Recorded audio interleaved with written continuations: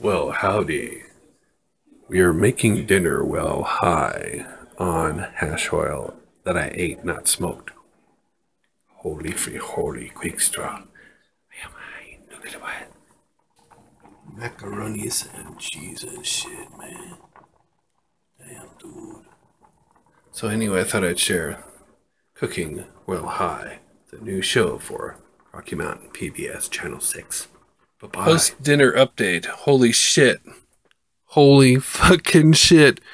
Do you know how it is to be this age and to be super stoned by your, around your mother, your 82 year old mother, and shit, and um, super duper baked, not just like I had a couple drags on a joint or a bong hit or two. Highly concentrated, yummy goodness, and I actually happen to have the product right here. Why my camera shows backwards, I don't know, but uh, I never haven't been able to figure out that friggin' setting. It's a company called Oil Sticks. It's a syringe, one gram. Uh, let's see if we can focus here.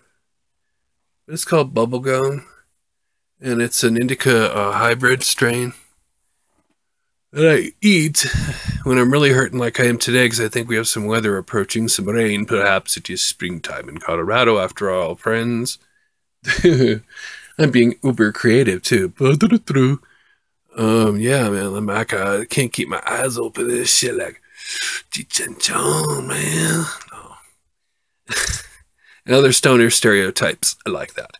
But mom was like, I wish I could have had this video shit rolling or audio. I should have at least like surreptitiously had the audio portion of our broadcast uh, recorded because I have that ability to make like wave files, MP3s on my phone. So, duh, we didn't have anything rolling for the evidence that I'm just, I feel like George Costanza and his mother.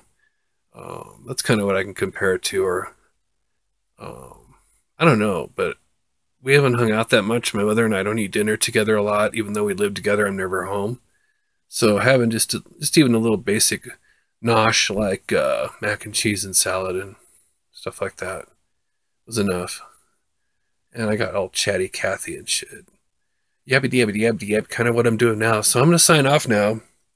Just a little uh, post uh, Stony Cooking episode update, epilogue. And uh, have a great day and stay stony. We hope. It'll be legal where you live someday. So you can come to Colorado, spend your money, and get the fuck out, go home and shit. That is all. Signing off.